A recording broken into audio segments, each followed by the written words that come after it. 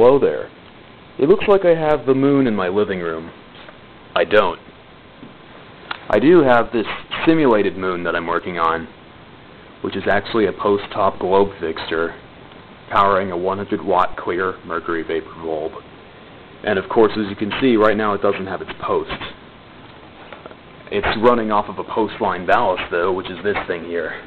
It's cylindrical shaped, and it has a little bracket, spring bracket that pushes on the side of the post. It goes on the 3 inch post like this goes on the 3 inch post, and it hangs by a chain.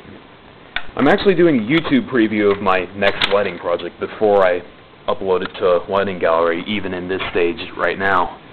What I'm going to do is I'm going to make a post-top, tabletop post-top mercury vapor lamp. So it's basically a mercury vapor table lamp that simulates a moon. Because whenever I see these mercury vapor globes, it always makes me think of a moon. Plus, the color of the, clear mercury vapor lamp does kind of look like natural moonlight. I've waited for it to warm up all the way. If it's not at full brightness, it's pretty close. And I just love seeing these in landscapes, especially the way they make the greens on the trees pop out. Or in this case, there's actually a green wire being used as the ground.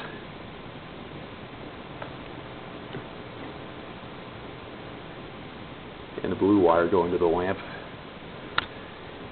really does make them pop out. Very pretty.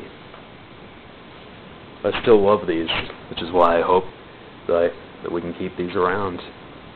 Anyways, this is my simulated moon. Stand by for the final project. Hope you liked it, and enjoy.